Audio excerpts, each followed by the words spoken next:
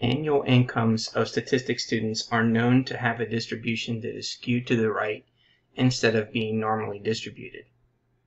Assume that we collect a random sample of annual incomes of 50 statistics students. Can the distribution of incomes in that sample be approximated by a normal distribution because the sample is large? Why or why not? First part says yes, the sample size is over 50, so the sample of incomes will be normally distributed. No, the sample means will be normally distributed, but the sample of incomes will be skewed to the right. No, unless more than 50 samples are collected, the sample of incomes will not be normally distributed. And no, the population of incomes is not normally distributed, so the sample means will not be normally distributed for any sample size.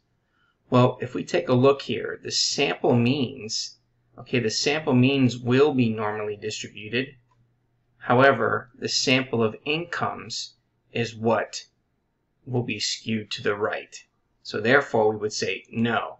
The sample means will be normally distributed, but the sample of incomes will be skewed to the right. And there's our answer.